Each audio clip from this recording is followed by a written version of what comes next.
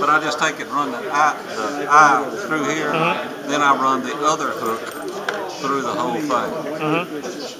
and it holds it out. And, yeah. Now, the way that they, if you go to a Bass Pro Shop or something, they'll give you a piece like that and a hook. But the problem is, they, you put your hook on and then you put this on to keep it from falling off. But it don't, the hook just flaps. But mine, as it coming through the water, this covers the big hook. And the other hook, when the short's dry, it's gonna be like that.